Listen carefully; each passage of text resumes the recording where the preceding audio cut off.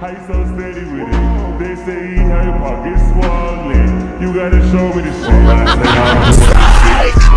I got the devil on my phone. He told me keep doing it. Yeah, devil told me that I get with it.